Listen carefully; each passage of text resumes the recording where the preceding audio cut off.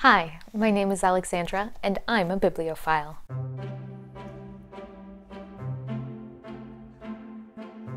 Welcome back to a lovely jaunt where we talk about literature. Today we're talking about The Tenant of Wildfell Hall by Anne Bronte. As part of my preparation for this book, I did a ton of research on Victorian England, and that ended up spinning off, becoming its own little mini video series.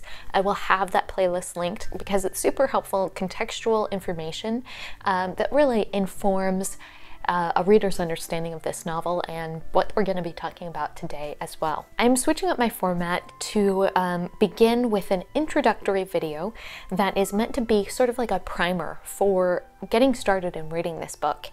Um, it's completely spoiler free. It should be helpful for you as you're getting started. And of course, if you have already read the book, then this is still a great place to start. So before you read The Tenant of Wildfell Hall, watch this. Here's our outline for today's video. First, we're going to have some biographical information about Anne Bronte. Second, I'm going to give an overall of the review of the novel's premise. I'm not going to give away anything about the plot, but I'm going to give you an idea of what the premise of the novel is. We're going to review the structure of the novel, and then finally we're going to take a look at some core concepts that I think are really important for you to pay attention to as you're reading. All right, so Anne Bronte. The Bronte family is super interesting, and Anne Bronte is probably the least recognized of the family. Um, of the three sisters, and ironically, many forget the one brother. I they actually did have Branwell Bronte. Charlotte, of course, is most famous for Jane Eyre, and Emily for Wuthering Heights. All of the girls wrote under male pseudonyms in order to be published. I read from the Oxford Press copy. Let me see, do I have it here?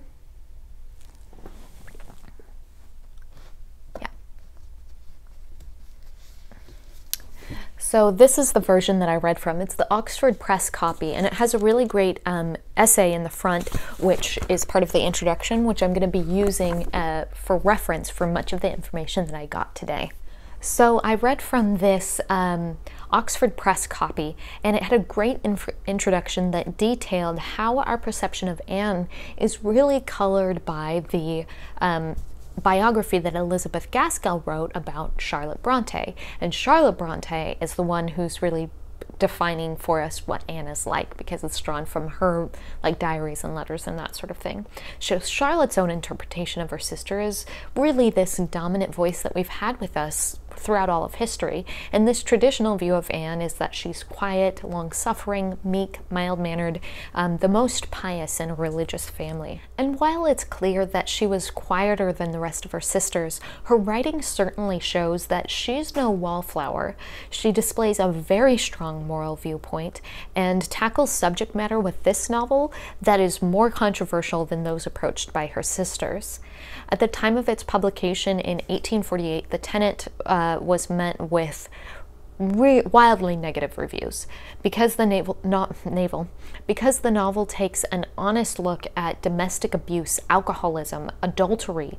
The Victorian audience really considered it shocking, vulgar, coarse, while at the same time they recognized that there was ultimately a Christian moral viewpoint undergirding all that was happening in the novel. Perhaps above all, the novel explores the sense of powerlessness that the main female character has in her situation, and it's profoundly candid. Um, and I think, for me at least, I think it's that's really what's core to its continued influence in society today. The introduction also connects the subject matter of the novel with Anne's close experience with her own brother's affair. So apparently Branwell Bronte had an affair with the married Mrs. Robinson, in whose home he was a tutor. Um, Anne was also employed as a governess there at the same time, so there's some sense that she was aware that this illicit affair was happening at the time. When Branwell was found out and eventually discovered as having an affair with the wife, he was dismissed, obviously, quite a disgrace. And later on, when Mr. Robinson died, he renewed his overtures to Mrs. Robinson, but she apparently was not interested. And he, Branwell suffered an early death as a result of alcoholism and addiction to opium. Um, he was generally depressed even after he was like rejected and moved out uh, and discovered, because obviously that would have been very disgraceful and embarrassing. He couldn't get work after that because his reputation was ruined, and he really fell into a deep depression even further after he was rejected by the now widowed Mrs. Robinson. While I generally advocate keeping a clear distinction between the narrator's voice and the author's personal life, it's not really fair, and we don't really know to what extent what happens in their personal life informs what they write about. It's pretty clear that this experience would have informed what she, the subject matter that she tackles in The Tenant of Wildfell Hall while again I don't think that it's supposed to be a biographical, the fact that she has experience with infidelity and addiction what, and those topics are being explored here, I think that's clear that there's a connection there. So let's talk a little bit about the premise of the novel. The Tenant of Wildfell Hall tells the story of Gilbert Markham and Helen Graham. Helen is the new tenant of the long abandoned and decrepit hall in Market, Markham's neighborhood. She is beautiful and apparently widowed with a young son. Gilbert quickly falls in love with her, but she's very reticent to encourage him in any way, encourage any romance. She's like, We can be friends. I enjoy your company. I enjoy your conversation, but we can't be more than friends. As we explored in episode 4 of the historical context of the Victorian England series, the Victorian novel often used the structure of a basic romance to explore many other issues, and this novel definitely conforms with that pattern as well. The structure of the story is also really interesting to me. The first portion is told from Gilbert's perspective, and the conceit that's used is that he's writing letters apparently to his very close friend, um, and he's basically divulging the story of how he and his wife ended up getting together. Um, and this person is apparently the husband now of his sister. This type of conceit is often portrayed in early novels where they're sort of like coming up with an excuse for why the story is being told. And I think it's important to remember that the form of the novel is really quite new. Um, one candidate for the earliest novel is Pamela by Samuel Richardson, which is written in the form of a diary, and it's kind of a similar format as a letter writing novel, right? And that was published in 1740. Prior to that, stories were presented in plays or in verse, in epic poetry, that sort of thing. The novel didn't really exist. Um, as a sidebar, you should also check out Shamela by Henry Fielding, hilarious satire on uh, Pamela. Anyway, uh, it's almost like authors are sort of like looking for an excuse for writing in this new form, and they felt the need to kind of like justify the existence of the story. So Tenant is published about 100 years later, but given the whole history of storytelling, this is still a relatively new form, and as we talked about in our Victorian England series, the novel is really hitting its heyday here um, and coming into its form. So Gilbert's perspective is relayed in a series of letters. The conceit is that he's sending portions of his story along, um, which is indicated in the first three chapters, but it drops off after that and you just end up getting the story. Again, I think this is really just to help readers of this new form sort of accept the story and get into it. It's sort of like easing the suspension of disbelief that is required when you dive into a story, whether it be in movie form or in the novel form. Likewise, Helen's portion of the story is sort of embedded within the letters, but they're her diary entries from her past. Um, her narrative tells of her experiences as a young bride before she came to Wildfell we have a sort of like nested narrative then. So we have like Gilbert's letters, Mar Mr. Markham's letters, presented as the present, wrapped around his narrative of the past. So that's sort of like the second shell inside of there. And then embedded within that narrative is the more distant past, the diary entries from Helen before she came to Wildfell. Um, and then we step back out each step by step as the novel comes to a close. This form of a novel is called an epistolary. It's from the Greek word epistle, which means a letter, not a letter of the alphabet, but a letter that you send to somebody in the mail. And both letters and diary entries, you know, Dear Diary, are considered a epistolary form. Um, and this form is very similar to a first person narrative. So you get an in depth view, close view of the narrator, everything from their perspective. You become intimately acquainted with their perspectives, what they think, and what happens to them but it's also really limited. You don't know anything that they don't know. You don't see any experiences outside of what they themselves experience. And this, of course, can be a tool that an author uses well to sort of like sustain a mystery. For example, in the first portion where we're getting blah, blah, blah. For example, in the first portion where we're getting Gilbert's experiences um, exclusively from his first person vantage point, we really have kind of like this mystery of, well, who is this woman? Who is Helen? Where did she come from? What's her story? And so, since he doesn't know, the author is using that skillfully to hold back that information and to extend out that mystery until the right moment. But the form is also restrictive, so it's very much set in the present tense. In Pamela, for example, there's a sense that the story's kind of trying to like burst free from this form. You get the sense that Pamela is sort of experiencing something and then scurrying over to her diary and writing down, oh, and then this happened, you know? Um, and that is a little bit awkward Anne Bronte, however, gets around both of these problems, which is the constraint of the first person narrative and the constraint of time, by having two different perspectives through the epistles. We get Markham's perspective, we get Helen's perspective, and we also get some of the more interesting features of narration, which is Markham reflecting on his own past and kind of giving insight and thinking about why he did what he did.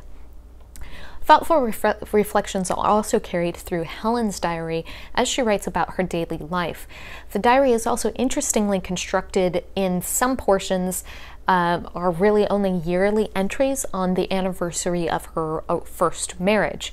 Um, and this moves the reader like quickly through the years while also tying it to that very essential moment and concept in the novel.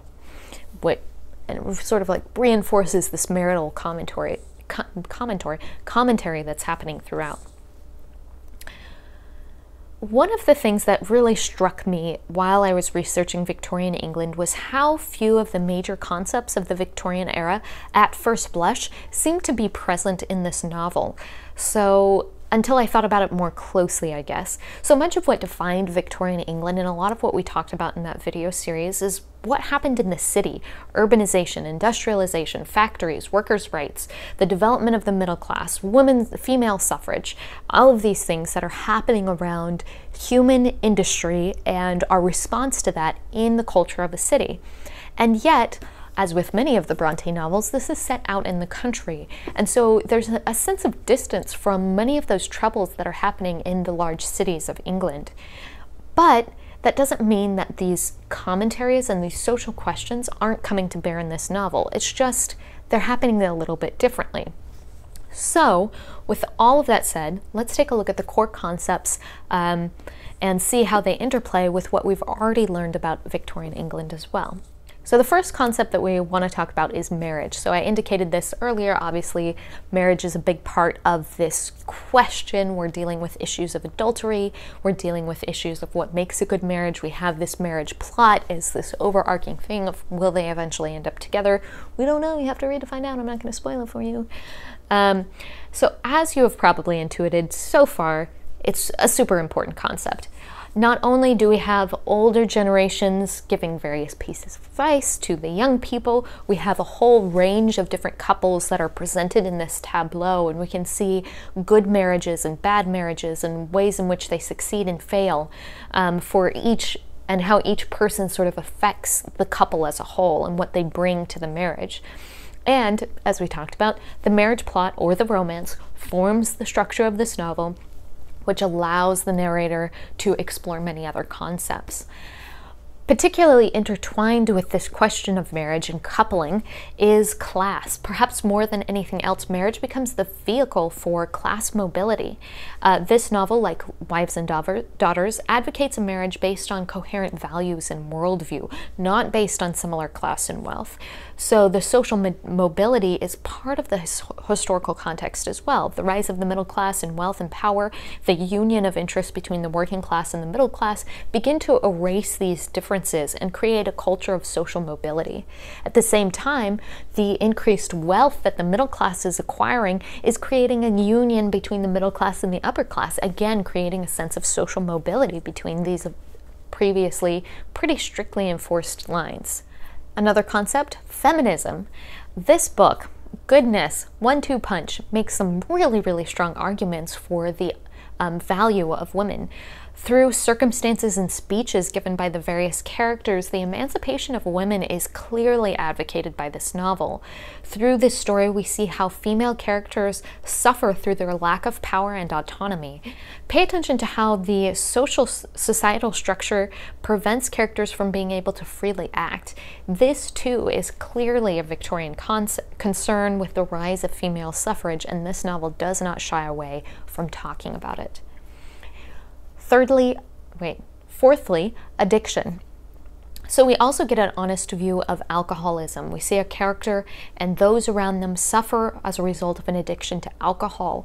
The novel reveals their decline of body and mind, um, and considering Victoria, Queen Victoria's own prim and proper morality, the idea of indulging in vices like this is really at the top of mind. But Anne explores them here with honesty and rawness that the audience probably was not prepared for. Um, in this way, the work really exemplifies some of the extreme self consciousness that we also talked about in our historical context series. And finally, religion. This novel presents a thoroughly Christian worldview. An examination of the characters and their marriage through, can be understand through this moral can be understood through this moral framework. Their joys and sufferings are in proportion to their virtues and vices, and to the way that the virtues and vices of those around them affect them. So you can either be a blessing or a curse to the person that you're married to or you're friends with. This, too, is a worldview that is being closely examined in this time. We have the proliferation of evangelicals. We have serious doubts coming from the realm of scientific inquiry, especially with Darwinism. And we have Anne's own doubts in her own faith, um, which we'll explore more in another video. And that's all I have for today's episode. And in my next uh, episode, we're going to discuss religion and vices, two of the topics that I mentioned here. And if you want to support my channel um, so I can continue to produce literary analyses like these, consider becoming a subscriber on Patreon. As always, liking and subscribing here on YouTube is a huge help. Uh, you can find my Patreon link down below as, long, uh, as well as all of my other social media links. You can find me at A Lovely Jaunt everywhere. And until next time, I'm Alexandra, and I'm still a bibliophile.